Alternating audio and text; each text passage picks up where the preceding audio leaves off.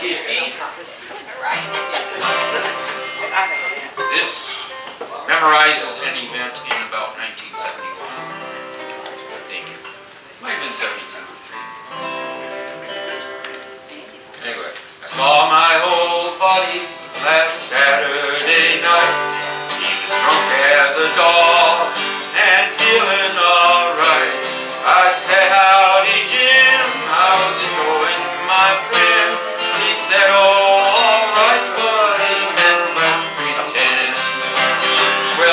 Jim's a musician, he writes beautiful songs. Right before he died, if you would like, I'll sing one for long.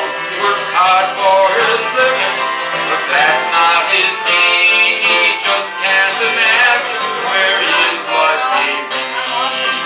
So won't you sing me a song?